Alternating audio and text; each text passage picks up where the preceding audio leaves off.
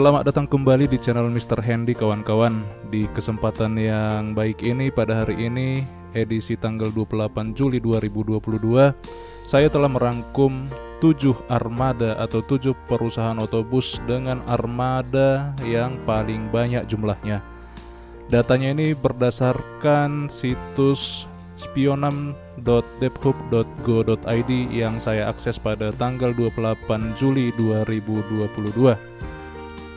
Oke teman-teman, ini edisi saya nggak tahu bikin konten apa sih. Yuk, disimak aja lah guys. Jadi di posisi yang ketujuh itu ada duet Makmur dan Halmahera dengan jumlah totalnya ada 75 unit. Jadi biar nggak apa kita ya kan ini dia kawan-kawan kita pilih di sini PT Pratama Makmur Jaya yang dipimpin oleh Bapak James Maja Philip Utapia oke kita klik dan di sini kita udah bisa melihat total jumlah unitnya yaitu menampilkan 1 sampai 45 data oke kita lihat ini jadi ini datanya ya kawan-kawan Hmm, di sini KPS-nya masih sampai ini ke Medan Solo, Medan Dumai, Medan Pati bahkan kawan-kawan. Jadi unit ke-45-nya itu ada BK7618DI akap dengan sasis Mercedes-Benz. Ini rutenya jauh juga nih kawan-kawan sampai ke Pati.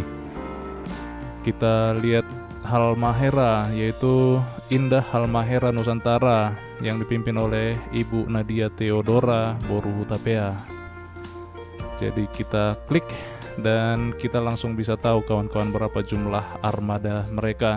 Jadi di sini ada 30 unit armada yang terdaftar di situs ini.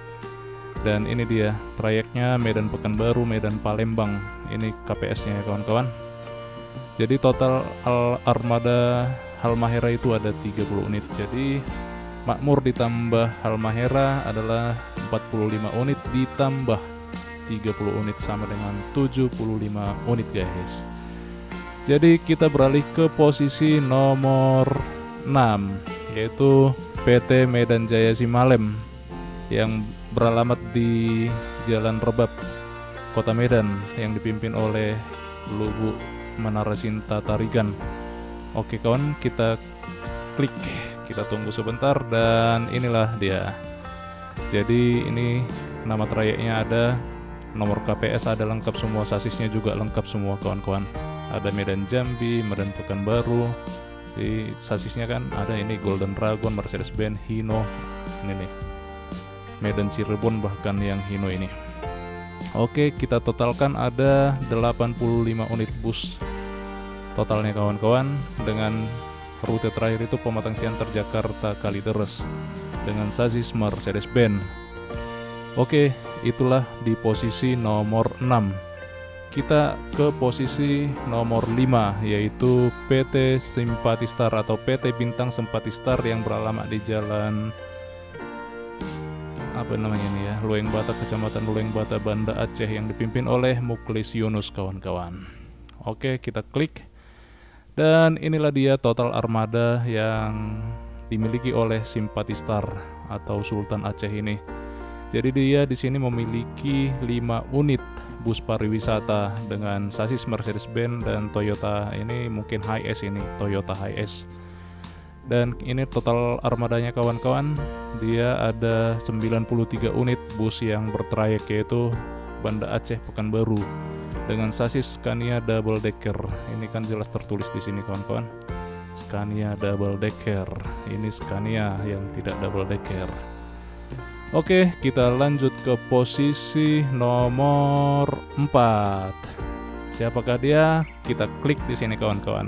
Dia dari Kota Medan yang beralamat di Jalan Masjid Syuhada Gang Singalor Lau nomor 1 Medan, Sumatera Utara. Yang dipimpin oleh Bapak Benjamin Tarigan. Kita klik. Dan kita lihat ini trayeknya Medan Palembang, Medan Jambi. Dia jelas ya armadanya Mercedes-Benz kebanyakan. Dan kita lihat berapakah jumlah totalnya. Dan ini dia kawan-kawan. Jadi jumlah totalnya itu ada 96 di mana yang terakhir itu BK 7998LC dengan trayek Medan Muara Bungo dan ini nomor apanya nomor KPS-nya jadi sangat lengkap data yang tertera di sini ya kawan-kawan dan di posisi nomor 3 adalah PT Putra Pelangi Perkasa yang beralamat di Provinsi Nanggro Aceh Darussalam yang dipimpin oleh Rusmin Effendi. Oke, langsung kita klik dan langsung bisa kita lihat teman-teman. Jadi Putra Pelangi Perkasa ini memiliki 5 unit Toyota Hiace dan KPS-nya itu jenis angkutannya ajab atau antar jemput antar provinsi kawan-kawan. Dan kalau kita lihat berapa jumlah armada totalnya ada 99 unit yaitu trayeknya Banda Aceh Kuta Cane dengan sasis Scania Banda Aceh, Lok Semawe, Medan Kabanjahe, Kuta Cane. Ini rutenya keliling nih kawan-kawan malah. Dan ini ada juga Scania yang nggak ada trayeknya mungkin ini bus cadangan. Ini data real ya kawan-kawan data yang terdaftar di Dinas Perhubungan jadi bukan yang saya karang-karang. Oke kita langsung ke posisi nomor 2 Sia siapakah dia? Inilah dia San Putra Sejahtera kawan-kawan. Jadi PT San Putra Sejahtera ini ada yang beralamat di Bengkulu dan ada juga yang beralamat di Pekanbaru atau Riau Pemimpinnya sama-sama Bapak Kurnia Lesani Adnan. Oke, kita klik. Kita klik ya kawan-kawan. Oke. Dan untuk PO San yang berada di Bengkulu jumlah armadanya ada sebanyak 62 unit kawan-kawan. 62 unit di antaranya ini trayeknya Bang apa Bengkulu Madiun. Di cabang Pekanbaru ada sebanyak kita lihat dulu 48 unit jadi ini Pasir Pangarayan Tulung Agung trayeknya di KPS Dumai Ponorogo Pasir Pangarayan Tulung Agung dengan sasis Hino Golden Dragon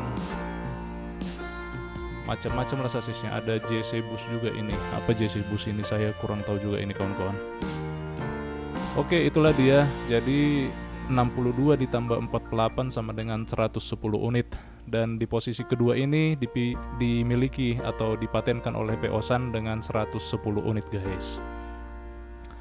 Oke lanjut ke posisi paling nomor satu yaitu PT Antar Lintas Sumatera yang beralamat di Jalan Sisinga Mengaraja kilometer 6,5 lingkungan 6 Harjosari 2 Kecamatan Medan Amplas Kota Medan Sumatera Utara yang dipimpin oleh Insinyur Haji Chandra Lubis M. Hum kita klik kawan-kawan berapakah jumlah ALS yang terdaftar di Dinas Perhubungan. Oke, langsung saja kita roll ke bawah. Jadi totalnya ini ada 258 unit guys. Dengan trayek Medan Pacitan, Medan Jakarta, Medan Pati, Medan Kediri, Medan Padang, Medan Amplas Kediri, Medan Padang, Medan Jakarta. Ini kawan-kawan banyak sekali armadanya. Jadi armadanya ini kebanyakan Mercedes-Benz. Dan ini yang terdaftar ada sebanyak 258 unit. Jadi untuk saat ini masih PT Antar Lintas Sumatera lah armadanya dengan jumlah paling banyak. Oke teman-teman, demikianlah dulu info pada hari ini. Semoga informasi ini bisa bermanfaat. Jika teman-teman penasaran dengan jumlah-jumlah armada bus yang dimiliki masing-masing PO, teman-teman bisa mengaksesnya di situs pionam.go.id dan ya browsing-browsing lah untuk mencari informasi kawan-kawan. Sekali lagi saya ucapkan terima kasih telah menonton video ini dari awal sampai ke akhir. Sampai jumpa di video-video saya berikutnya. Terima kasih. Horas Majuah Juah Manbanta Krina.